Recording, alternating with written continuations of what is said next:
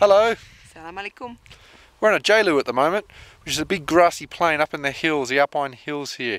We're in Kyrgyzstan above the town of Kochkor, and tonight we're going to fulfill one of Elizabeth's dreams of sleeping in a yurt. Let me just show you our yurt, which is which is behind her there, uh, which is the summer residence of the family we're, we're living here with at the moment.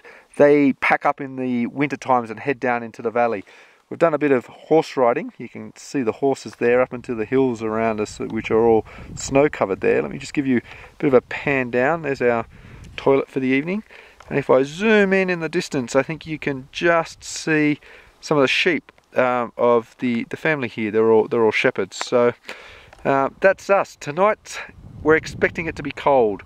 Really bloody cold. So hopefully that yurt is reasonably warm. See you later. Do svidania.